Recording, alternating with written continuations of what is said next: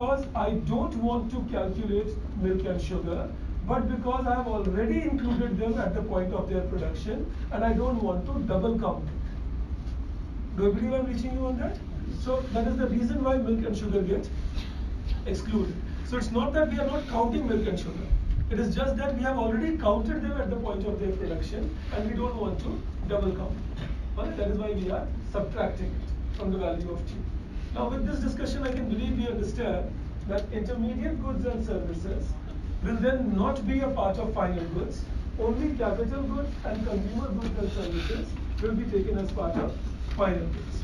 Again, I repeat, capital goods and consumer goods and services are taken as part of final goods and services because once the commodity becomes intermediate, it means that its value must have been recorded at the point of its production and so we don't need to record it again and hence we subtract it. Do I believe I'm reaching you on this?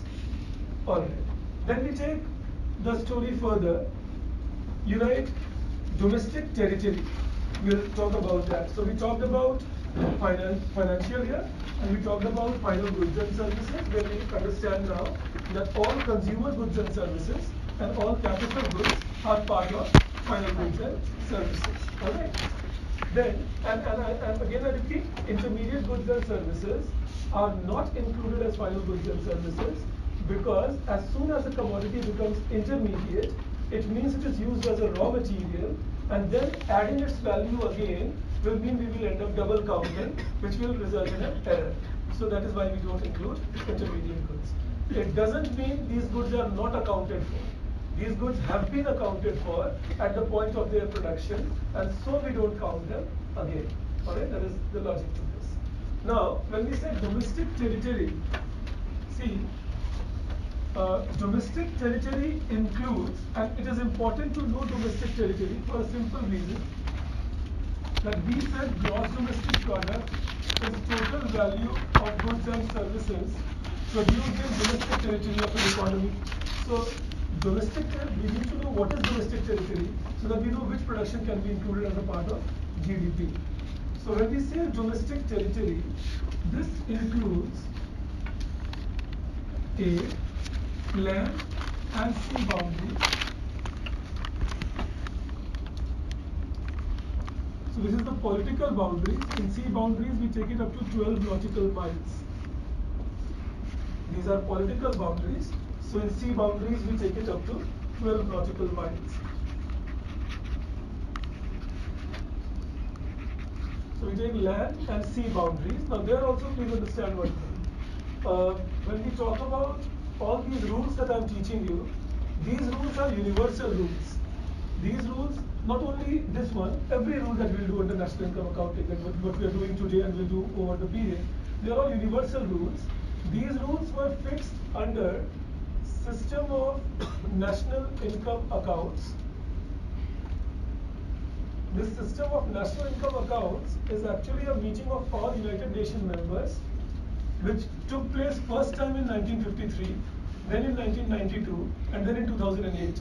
This, to, this has kept revising the rules and regulations, but this is the system of national income accounts, which is a meeting of all United Nations members, which come together and decide what will be the universal rule of calculating the aggregates, how we will treat each other's commodity and our commodity in our country and so on. So the rules that we are writing are universally applied so that there should be a basic framework under which every country can calculate its aggregate value, whether it is GDP or it is GNP or net domestic product or it is private income and so on. So all aggregates are calculated by these rules. This is universal. Just wanted to let you know that so that we understand that it is not that we are doing it only in India. This is done universally in the given framework. These are the rules under which we prevail. So then in domestic territory, the second rule is all airplanes and ships operated by residents of a country.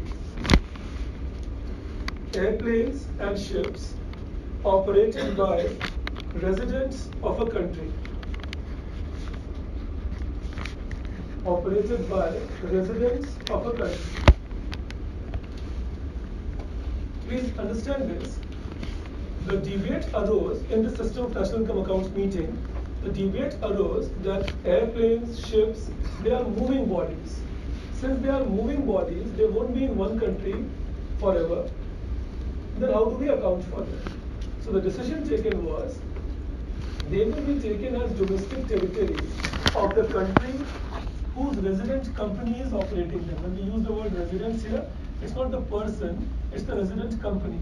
For example, Indigo is an Indian company, so headquartered in India. So resident companies are defined as that. The companies which are headquartered in your country. Alright. So if Indigo has its headquarters in India and it becomes an Indian resident company, Indigo airplane, even in USA, will be considered as India's domestic territory. Alright, that is the rule that we create. Similarly, United Airlines is headquartered in America, then United Airlines aircraft, even in Bangladesh, will be USA's domestic territory. You understand this? So that was the rule created that for ships and for aircrafts, they will be considered as domestic territory of the country whose resident company is operating them, irrespective of where they are in the world. Alright, that was the rule that we created. The third rule was, or is rather, oil platforms and gas rigs operated by residents of a country. Oil platforms and gas rigs operated by residents of a country.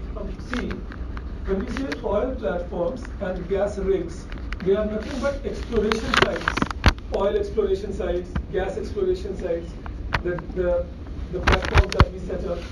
They will be taken again as domestic territory of the country whose resident company is operating like when we talk about say an ONGC oil platform in Venezuela. It will still be India's domestic territory because it is operated upon by an Indian resident company. Similarly, British Petroleum oil platform in Krishna Godavari Basin will be still taken as Britain's domestic territory. So it was said that since oil platforms and gas rigs need a long-term lease, 60 years to 80 years sometimes, and have huge investments involved, they will be taken as domestic territory of the country whose resident company is operating it. Right? That was the contention given. And then, and, and one more thing, when we say domestic territory, it will be taken as that. It does not mean anything about political control. Nothing. It is just a method by which you calculate the GDP of a country. Political control is for all practical purposes in the hands of the country in which it is located. Alright? So, legal system, political system will be of the country where it is. Only for the purposes of calculating GDP, we classify them as domestic territory of the country which is running. And fourth reason is embassies and consulates of a country embassies and consulates of a country. So, Indian embassy in Britain will still be India's domestic territory, and similarly, American embassy in India will still be America's domestic territory. Right? That is how it is taken. That all embassies and consulates are domestic territory of the country to which they belong and not the country in which they are located. Alright? Now see, so all economic activities happening in these places will qualify as GDP of the country to whose domestic territory they are. Now, I'm sure you would have understood it, but just to make sure that we all have, PepsiCo office in India, whose domestic territory? Yes. India. PepsiCo is not a ship, not an airplane, not an oil platform, not a gas rig, and surely not an embassy. The exceptions were only these categories. All other companies located anywhere in the world will be domestic territory of the country in which they are located. Am I reaching you on this? So as long as it is not an aircraft or a ship or an oil platform or a gas rig, you know, we will not be doing any exception then the company can be headquartered in any country. It will be taken as domestic territory of the country in which it is located. So State Bank of India branch in UK will be whose domestic territory? UK. Because it is again not belonging to any of these categories and located in UK, so becomes the domestic territory of UK. TCS office in New York will be USA's domestic territory. And similarly, Citibank office in Delhi will be India's domestic territory, and so on. Okay, so the only exceptions are if it's an airline company, shipping company, oil company, or gas company. That also exploration, oil platforms and gas rigs, you know, exploration part. These are the only exceptions. Embassies, of course. Apart from that, anything, any company located anywhere else in the world will be taken as domestic territory of that country. So let's keep it in mind. So then we can believe that when we say GDP, gross domestic product, then total value of final goods and services produced in domestic territory of an economy in a given accounting year defines something. So let's think, why are we studying it? Why do we get happy? See, sometimes you, you will see that India's GDP is increasing at 7.5%. Somehow we feel happy, nice. nice is happy. Why do we feel happy? Well, I'll tell you, the normal happiness is belief that एक तो ऐसे ऐसे ही happy, वो ठीक है. Otherwise, knowingly we feel happy believing that higher GDP means I have produced more goods and services in the previous year, which will mean now there is more availability of resources in my economy, which will mean overall higher standard of living. Now this may or may not be true. We'll discuss it when I'm teaching inclusive growth. But this is the belief that makes us happy in general. So, because remember, even if we are looking for equality or equity, growth is a necessary but not sufficient condition for it. if you don't grow, in any case, what will you include people? You can't include them in poverty.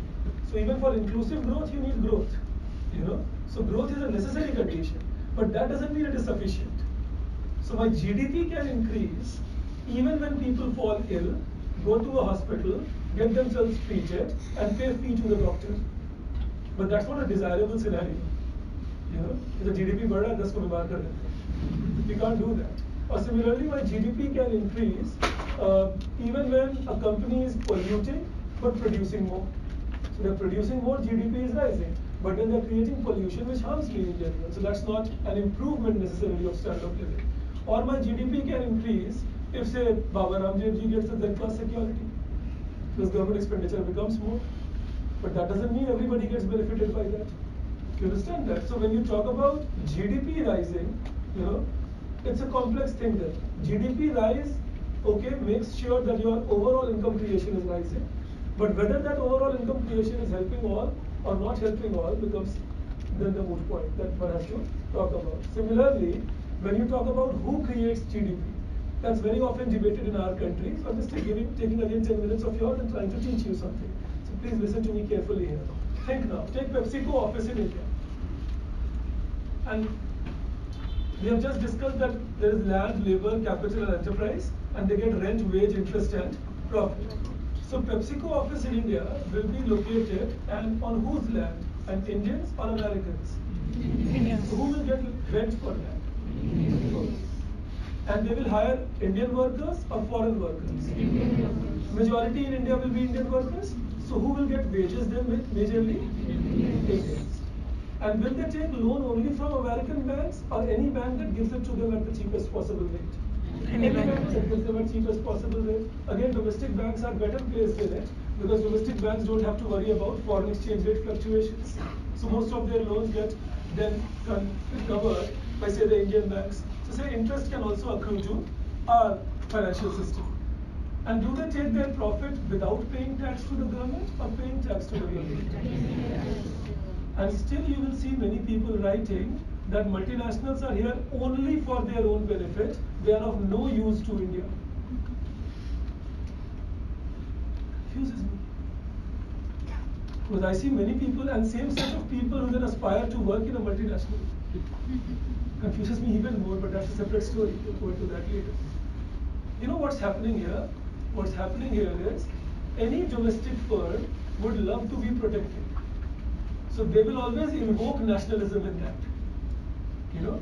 But then if somebody is producing in my country, then that is made in India.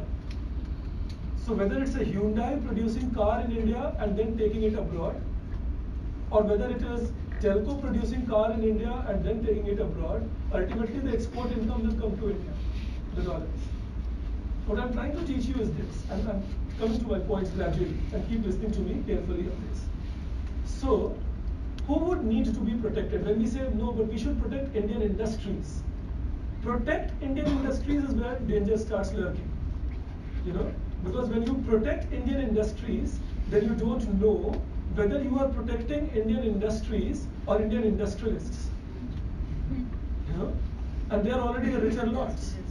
Because think, if we try protecting them, and then we say that we will not allow anybody else to produce in India, then they will have lesser competition. And as they have lesser competition, will they pay more salaries or lesser salaries to their employees? Lesser salaries. And who will be these employees? Who, which country's citizen? But we say we will protect India by protecting these industries. And will these workers be richer than their employers or poorer? Poorer. Then we are talking about protecting these. We also think when you have, when they have lesser competition, will they charge more or will they charge less? More. Who will pay this extra charge? Consumers. Which country's citizen? India. But we say we are protecting India by protecting these people. So we have to be careful. I repeat again, producers will love to be protected. So they will always invoke, again I repeat, the idea of nationalism and try motivating us that it's because I'm from your nation, protect me. 14, 15 days back, I saw an advertisement in newspaper. Uh, it was done by Patanjali, where they were taking half a page of the front page and they were writing mainly that you buy from us because we are an Indian company, you know, and we want multinationals to go away from it. Fair enough. I trust Babaji. is a respectable person. no, I mean it. I mean, you know, my sons also do the same to me. When I'm serious, then also they think I'm sarcastic. They start laughing as I please listen. I'm seriously talking. Doing something on my face. Anyways, you know. But I get confused by one thing. He says buy from me because I'm an Indian company, right? But when Patanjali had to choose its e-commerce partner, then 37% of the contract was given to Amazon. Why they did not choose Indian startups, the small ones, rather a multinational? Now I get confused whether I follow Babaji in his words or in his deeds. because when it comes to him choosing, he chooses the most efficient one. When it comes to me choosing, he tells me choose me because I am from your country. This is what I want you to understand. Names will always be invoked to create a situation where some people will give. In India, we have created one more fashion, you know, socialism. That's again a fashion we have created.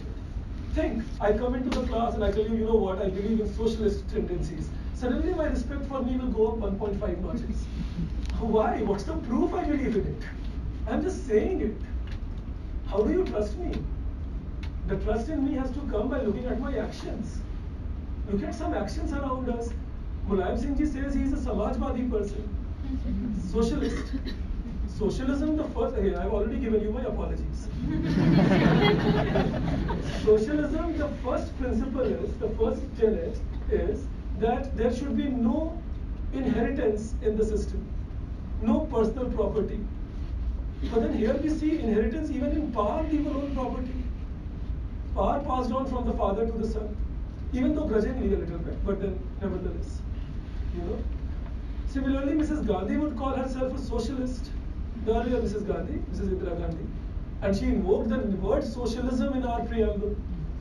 It became sovereign, socialist, secular, democratic republic.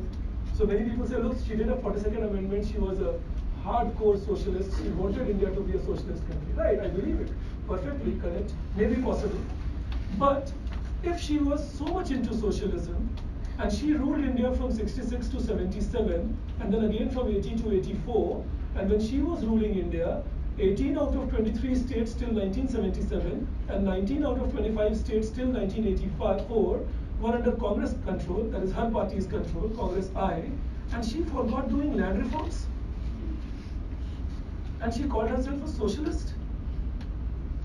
It doesn't add up. And it was not that she was there only for two, three years. She was there for a good 15 years with a decent control on the polity. And whenever I've been studying land reform since I was kind of big, I've been studying it was due to lack of political will. Whose political will? And in our country, you know, we have an interesting phenomena. If you start asking questions which are uncomfortable, then people can abuse you. right. I was writing an article on this long back, 2011-12 itself. I wrote an article regarding the same thing that I'm putting in the classroom about Mrs. Gandhi. And uh, a person maybe he loved Mrs. Gandhi a lot, so he got a little agitated. He started abusing on my Twitter account. So one abuse I didn't get the meaning. I asked him, I said, what does it mean? Then he abused a little more. I said, no, first clear the first one. and I explained to him, I said, look, you are abusing me so that I feel angry, agitated, and I respond. But if I don't get the meanings, how do I respond? At least explain. Then for four five days, I kept asking him. Finally, he blocked me. I, I complained to Twitter also. This is not done. He abuses. He blocks. it is very undemocratic.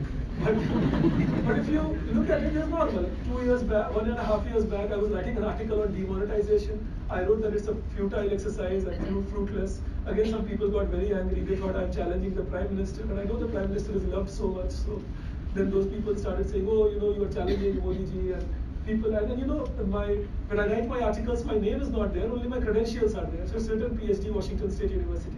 So they, some one person maybe thought that I'm still in US. So he said, stay where you are.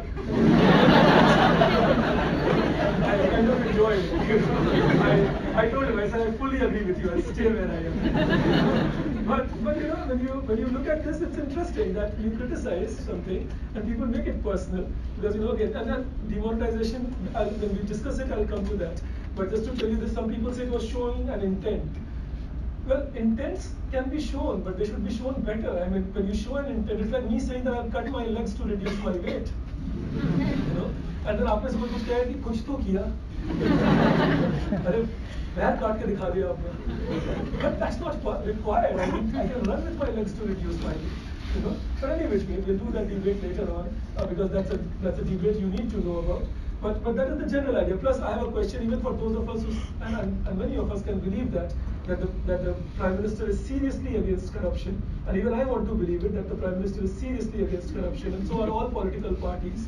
My only problem is how did they fight the last election? With which money? Because even in university elections, I see black money coming in. you know? So for an MLA election, MP election, which money are they using to fight those elections? And if that money is not white money, then how will horse burn the state? Because if they're dependent on that money to fight the elections and win themselves, how can they convince me that they want to remove it? You know, so any which way, you can take your pick on that. And if you love the Prime Minister a lot, then you can put it on his mail account or Twitter account that, sir, you know, one fellow was asking all these questions. you know, uh, would you please make sure that political funding is made white in India so that we can trust you better about controlling black money in India. So, you know, but any which way, that's completely okay. Again, I know when we love him so much, then we don't question him, we just believe in him. And that's good sometimes, you know, keeps us nice because then ko chinta nahi rehti na, ignorance is bliss. But but whenever you, when you whenever you look at it, generally, jokes apart, again, and there's not a joke, these are serious questions in my mind that remain, and I keep writing articles on these. But when you look at it in general, what I'm trying to tell you is when I said socialism, that's why. What it does is it creates an impression, an impression that this policy is done for the welfare of the poor then people start getting blind to the fact that whether the poor are actually getting helped or not. And in case somebody starts challenging those policy implementation, then rather than focusing on implementation, people start saying, oh, you are against socialist principles. And that is where we need to understand the difference between the two. You know, in fact, I got it from my wife once, 2005. I remember she said once that uh, your PhD in US has corrupted your mind. You don't appreciate socialist values much And your wife speaks, you don't speak that much. so, and then plus, we have been knowing each other since we were 10th standard students, so I thought maybe she's getting to know something about me that I'm not getting. But, you know, but over the period I understood something. 2009, you know, I was delivering a, delivering a lecture in Philadelphia University. And uh, this was immediately after the subprime crisis. I can believe you understand, sir, recall subprime, the worldwide crisis in 2008. So there, while lecturing, I said that capitalism will have to control its greed because the greed of capitalism is responsible for the crisis that the world faces. And America being the center of capitalism will have to learn that there is a distinction between value creation and greed that you create in the system. And hence you have this Lehman Brothers failure and. So I said many things that's not important. That was the crux. And the way we love socialism, those guys love capitalism as a concept. So I was again caught in, in, the evening. I was living with a friend of mine. He's called Dr. Philip Jones. He teaches in Philadelphia. So I had no escape also. I was just with him at his home. And before dinner, he said, Dr. Jha, you know, your schooling and college in India doesn't allow you to appreciate the merits of capitalism nicely. Now that day I realized one thing that I don't appreciate socialism because of my PhD in US and I don't appreciate capitalism because of my schooling in India. Fully corrupted now. Future as economists compromised completely, you know. But then I did not pick up the debate at that time with him because that was late in the evening, just before dinner. And I am a tea teetotaler, and he had taken three pegs of wine. So I knew that in any debate he has an inherent advantage. so no point debating it right now.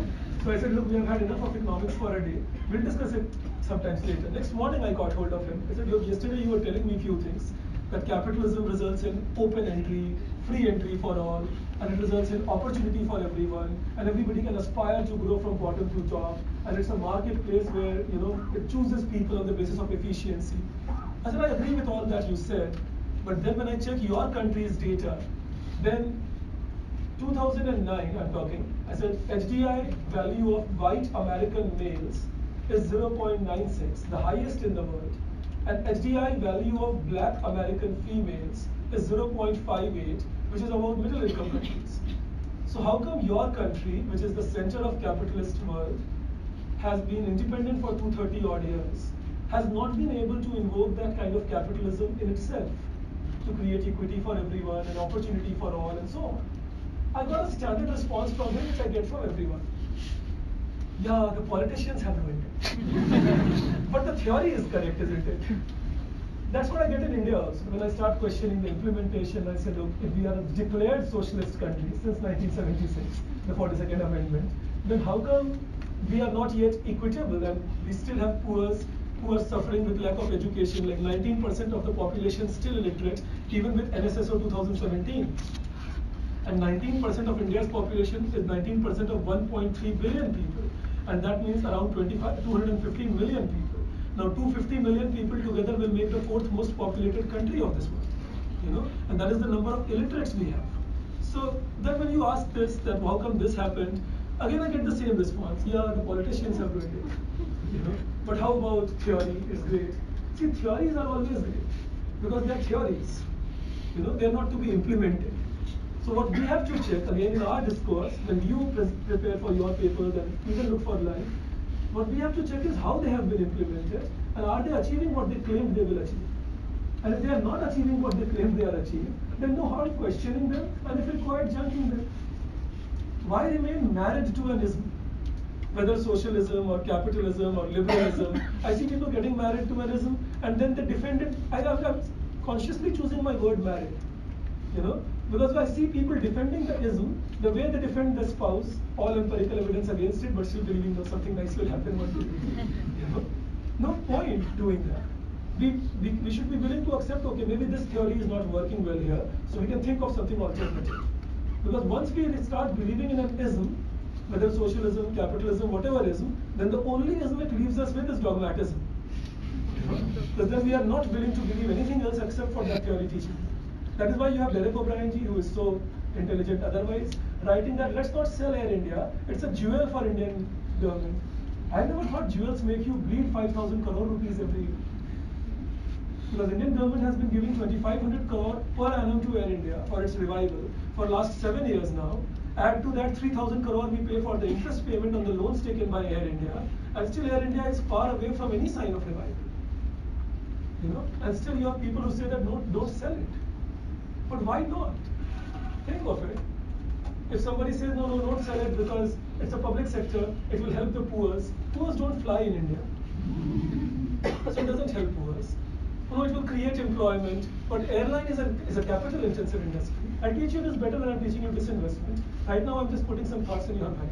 So airline is a capital intensive industry, so labor creation, labor's employment generation is far less same money invested in a textile company or a leather goods company or a toy company or a electronic component company or small electrical appliances company will create far larger jobs than what Air India can create.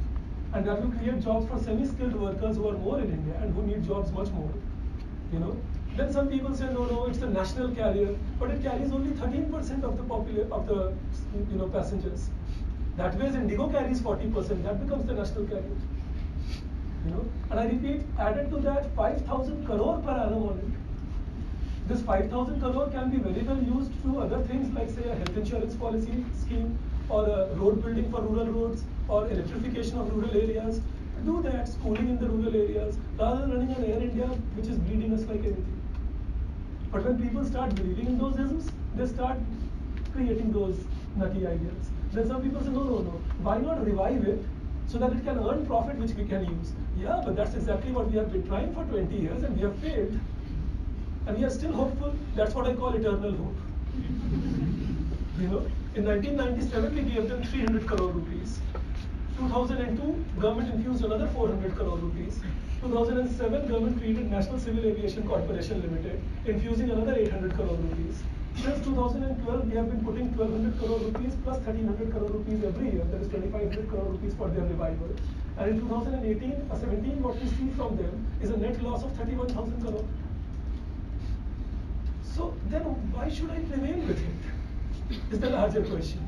Just because it happens to be a public sector and my principles or ideologies tell me no, no, no, no, public sector should be removed. In the process, I'm harming the poor more than helping them.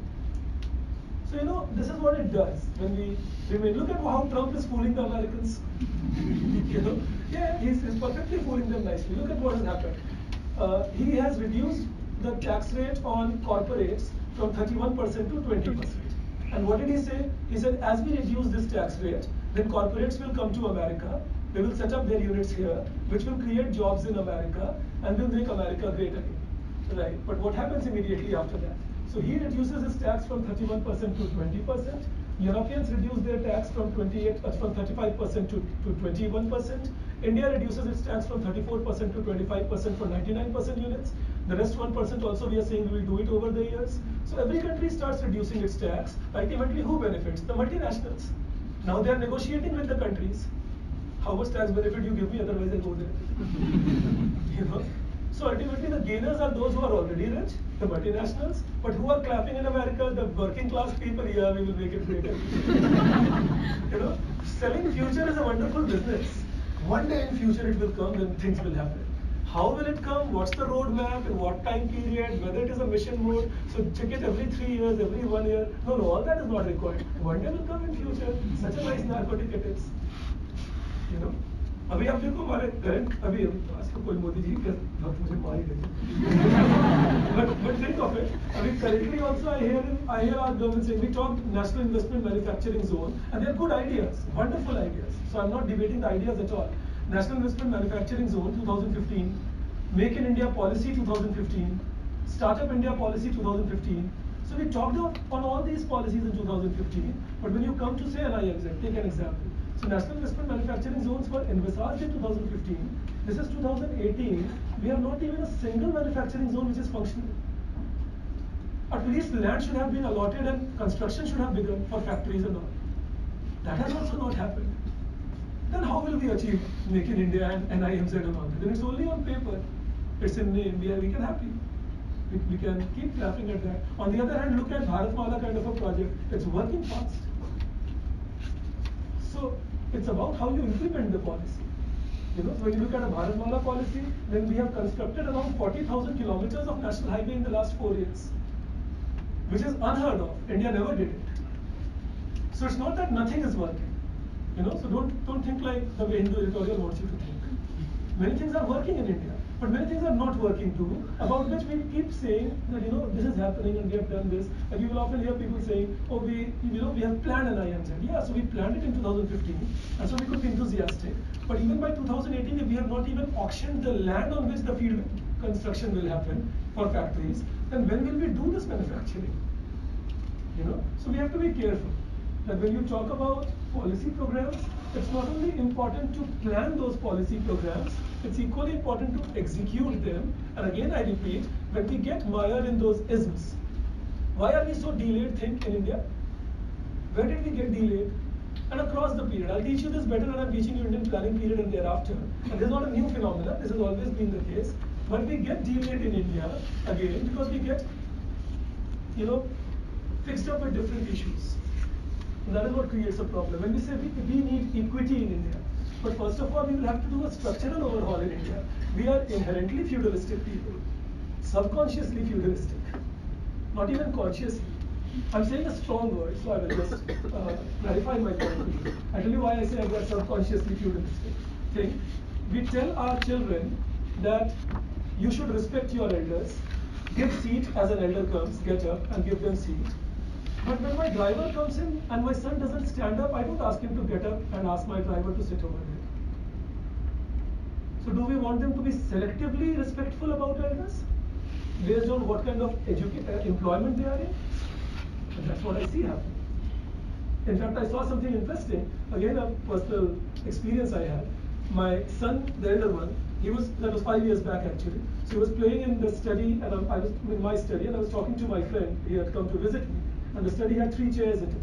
And my driver came along, and I exactly asked him to do this. I said, "Get up, give uncle the seat to sit, and get a glass of water for uncle."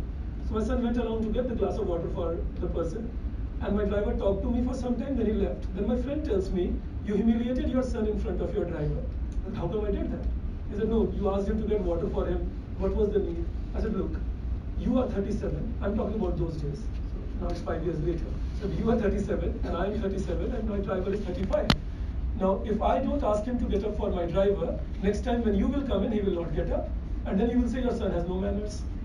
You know? If I tell him get up for this uncle, don't get up for that, and respect this uncle, don't respect that, then the fellow will get confused, have a system failure, collapse. so what I am only trying to teach him is dignity of labor and dignity for all humans, that is respect people just because they are human beings, nothing else. If you feel that means humiliation, I can't help them. And interestingly, this person teaches development economics in Delhi University. So the fellow would be teaching inequality and poverty day in and day out. So this is subconscious feudalism. That even respect will be decided based on your social hierarchy. So if you are equal to me or above me on income level, then somehow my mannerisms will come in. If not, then my mannerisms can be wait. One has to be careful on that. And these are so powerfully ensconced inside us that sometimes the mind rebels. You know, that, that no, but why should I follow it? I will not be following it. But then imagine in that kind of a system, we are talking equitable distribution. You know, also in a system where uh, we want uh, privileges sometimes to be ours rather than privileges abolished. You know, I'll, I'll give you an instance on that also. Take a person X. Say I am that person X. I am cribbing one day. I'm stuck up in a traffic jam, and the traffic jam is because uh, a cavalcade of a minister was going on. And I said, what is this? Uh, we are a democracy and a republic. These people should also get stuck up in a jam and realize what happens. Right, all this is fine. Then I go on a holiday, say to a religious tourist spot. I come back, I meet a friend, and my friend says, oh, how, how was your holiday? I say, oh, great, wonderful, we had a nice time. My friend said, but this is so busy time, that place. How did you manage? I said, no, no, no, my friend is a DM over there. I went through VIP enclosure. We, were, we didn't have to stand in a queue. We were all nice out there. It was all so smooth. What does that imply? I am not craving when privilege is mine. I never said I don't want the privilege. So I was craving when the privilege was not mine. You know? So imagine now, even if I get power, how will I abolish this privilege? Because I always craved for it. In that context, think how difficult then it will be to create inclusive growth. So before we start saying do this and you have inclusion and do that and you have inclusion, we will have to first train ourselves to you know be inclusive first, and then maybe inclusion can happen. But right now we we are a little away. From, and by we I don't mean necessarily me and you. There are many in our country who are pretty much informed and are very hard working on these aspects. I'm just saying on an average I see the system behaving like this. Then it has to be trained in inclusion first before we practice inclusion. Otherwise, it will remain the rich man's domain. You know.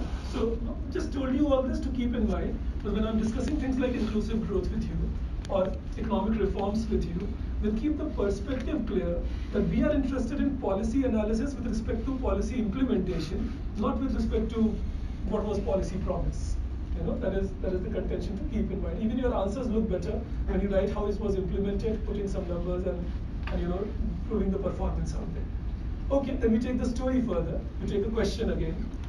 You write, what is what is gross national product? What is gross national product.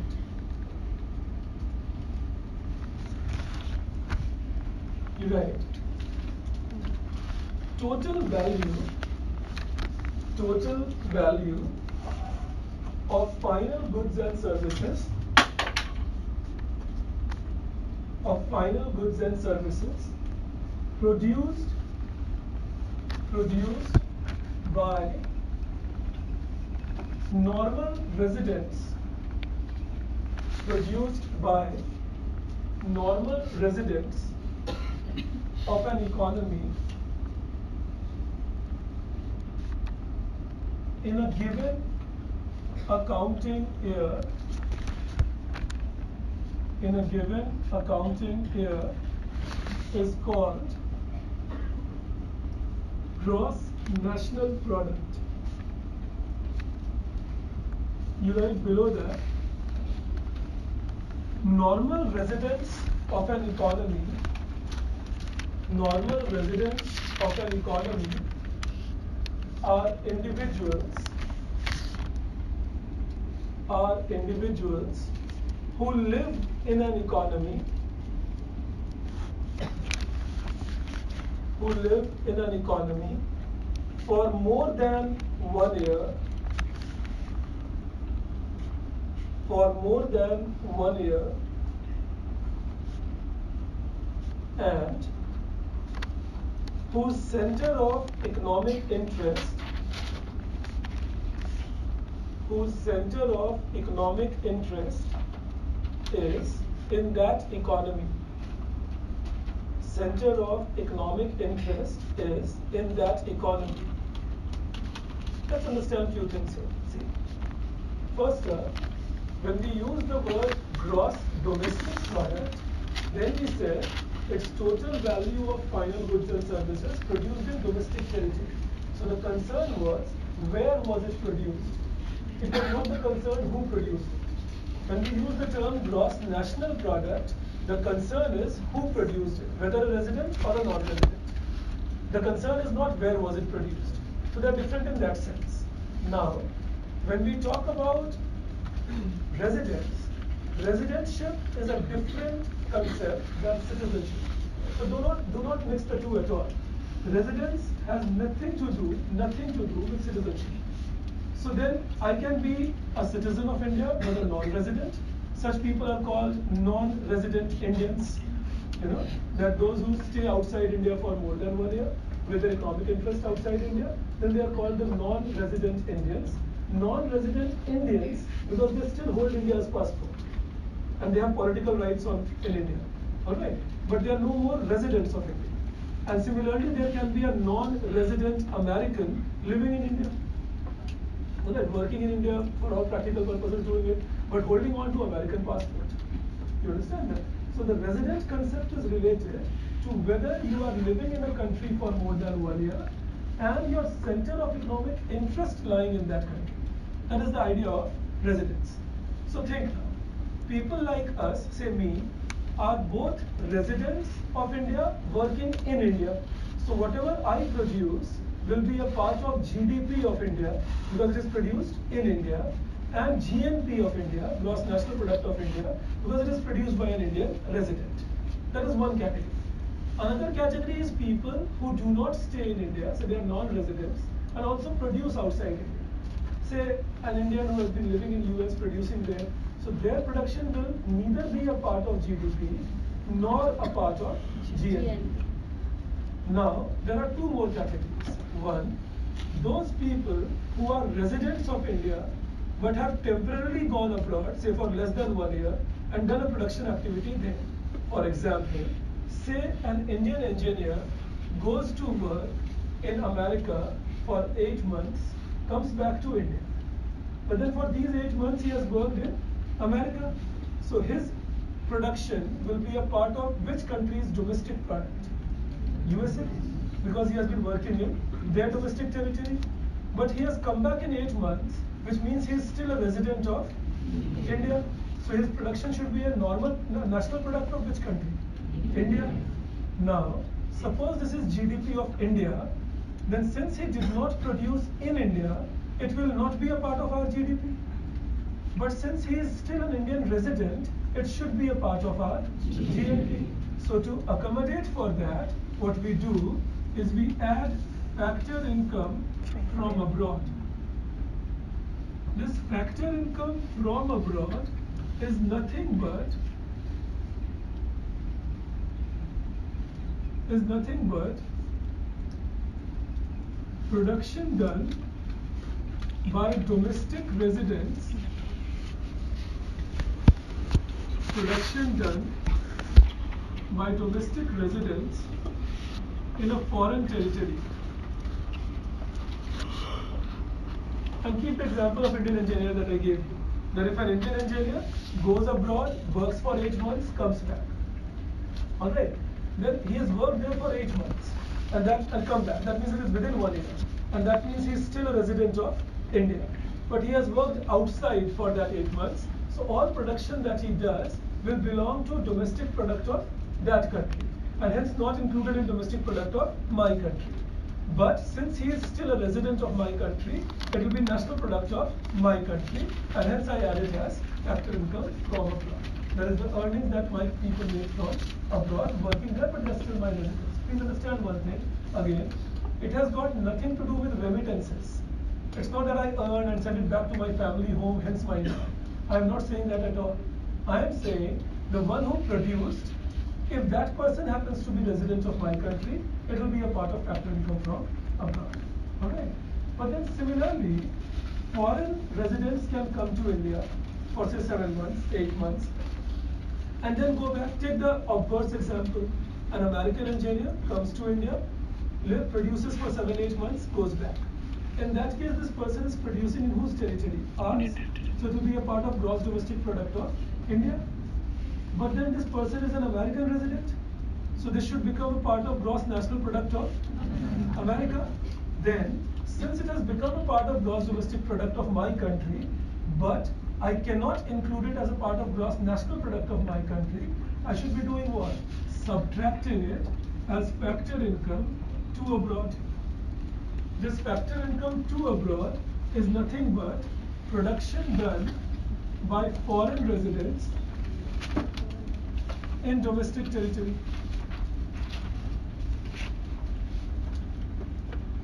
Production done by foreign residents in domestic territory. I repeat my, my points, please listen to that carefully. I said, suppose that this is GDP of India, then this includes all production done in India's domestic territory, irrespective of who produced. But then it doesn't include the production done by Indian residents who are producing outside India's domestic territory. It includes that production which is done by Indian residents within India's domestic territory. Say I gave you the example, people like us. We are Indian residents producing in India's domestic territory, that will be a part here.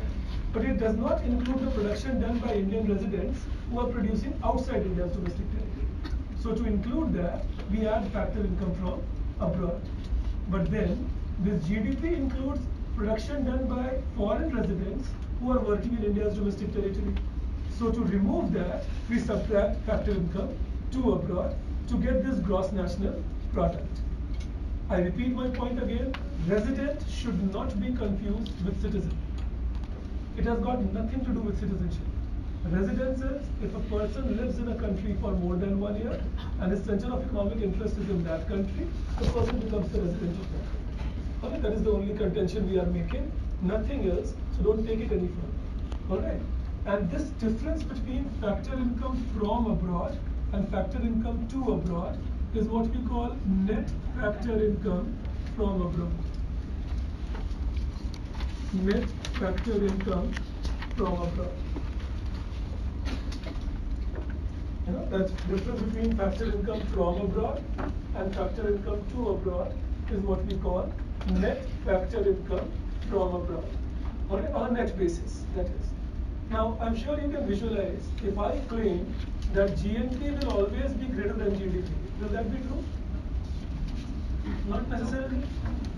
If, if the factor income to abroad becomes more than factor income from abroad, then this term will become negative. And that will then mean that GDP will become higher than GNP. So it is not necessary that GDP has to be higher than GNP or GNP has to be higher than GDP. It will depend on the relative values of factor income from abroad, that is how much my residents earn abroad, and factor income to abroad, that is how much foreign residents earn in India. Do I believe we understand that? So that is the basic idea okay, of gross national product. Moral of the story is, if I have any domestic value and I want to convert it into a national value, then I have to add net factor income from abroad to that. Domestic plus net factor income from abroad is called national. There are two exceptions in the rule on, on residence. Like normally the rule is more than one year and center of economic interest. There are two exceptions. One is students and government servants posted abroad are considered normal residents of their own country even if they stay abroad for more than one year. That is one exception. That if somebody is a student or a government servant posted abroad, an Indian ambassador or an Indian army general. Alright, so students or government servants posted abroad, even if they stay out of the country for more than one year, are still normal resident of their own country. Alright, so an Indian student living in US for more than one year is still India's resident. And similarly, an Indian ambassador living abroad for more than one year will still be taken as India's resident. So for students and government officers or government servants posted abroad, we consider them as normal residents of the country to which they belong, even if they live for more than one year outside it. And the second exception is that all border workers, border workers are people who cross the border every day and then come back. Like suppose if, if you are working in American embassy, then theoretically you are crossing the border every day and coming back to your home. Alright. So all border workers are residents of the country in which they live and not in which they work. Alright, that is again the rule with which we work on. That all border workers, that is people who work cross border and come back to their country every day, are residents of the country in which they live and not the country in which they work. That is for all the border workers. These are the two exceptions to the rule that we have created. Otherwise, the rule remains that more than one year you are considered normal resident of that country. I can believe you are in sync to this. You take a take a statement now. You write.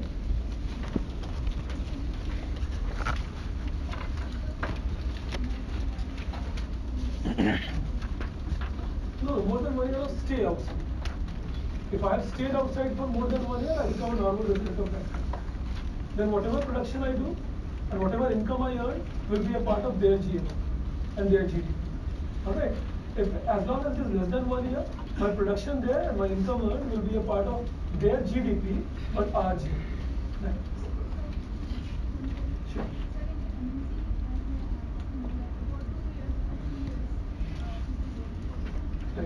Right. so same thing again. All their income earned after one year will be a part of our GDP and GNP. GNP both. Alright, till one year it can be our GDP and GNP of the country which is, which is resident there. Alright, that is. Okay. Then you write a statement, you write, when domestic product is calculated, when domestic product is calculated,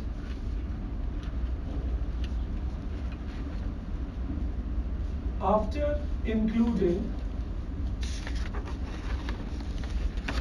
the value of depreciation, the value of depreciation, it is called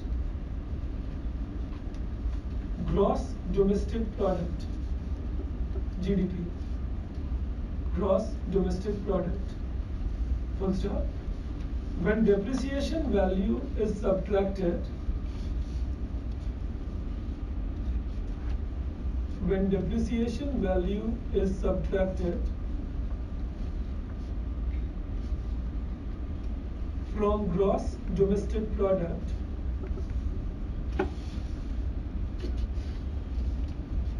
then it is called net domestic product then it is called net domestic product.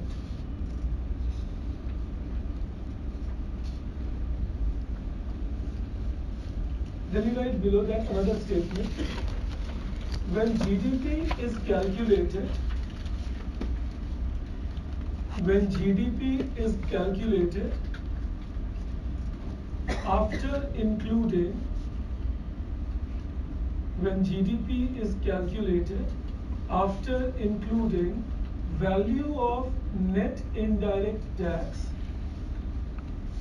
Value of net indirect tax. Uh, in a bracket you write indirect tax indirect tax minus minus indirect subsidy. Minus indirect subsidy. Close the bracket then it is called then it is called GDP at market price it is called GDP at market price and the same thing you write when net indirect tax when net indirect tax is subtracted is subtracted from GDP at market price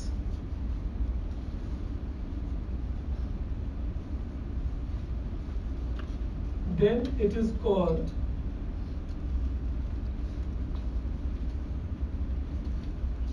GDP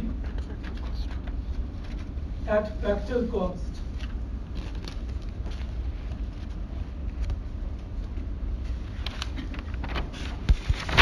Then you write just one more thing below this. Depreciation is depreciation is loss in value loss in value of capital due to normal wear and tear normal wear and tear during production process during production process and